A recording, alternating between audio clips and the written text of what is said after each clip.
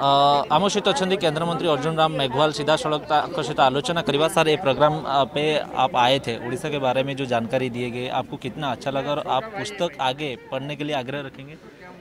देखिए मैं निश्चित रूप से पुस्तक पढ़ूँगा और उड़ीसा के बारे में, भरतरी मेहताब साहब के बारे में जब जब चर्चा करते हैं हम तो उड़ीसा के इतिहास की हम काफ़ी चर्चा करते हैं।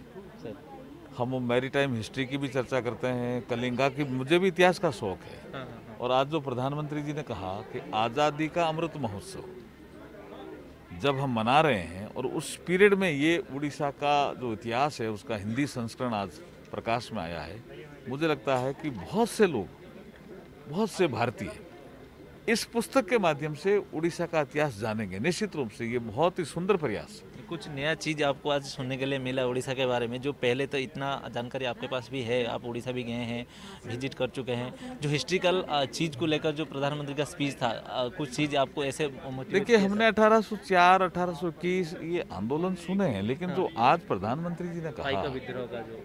आज जो प्रधानमंत्री जी ने कहा कि किस तरह से आदिवासी समाज ने भी अंग्रेज़ों के छक्के छुड़ाए ये कुछ नई जानकारियाँ प्रधानमंत्री जी के माध्यम से हमें मिली। बहुत बहुत धन्यवाद तो आगे सर पुस्तक पढ़ना चाहेंगे सर? बिल्कुल पढ़ूँगा मैं पुस्तक। पढ़ूँगा ही नहीं मैं और औरों को भी पढ़ाऊँगा कहूँगा पढ़िए और। क्योंकि मैं वहाँ उड़ीसा में जब जाता हूँ भुवनेश्वर हाँ, हाँ, तो वहाँ पर हमारा एक बीकानेर चैप्टर है। सुभाष बोरा उसके अध्यक्ष हैं हाँ, भुवनेश्वर में। तो मैं बीकानेर का सांसद हूँ।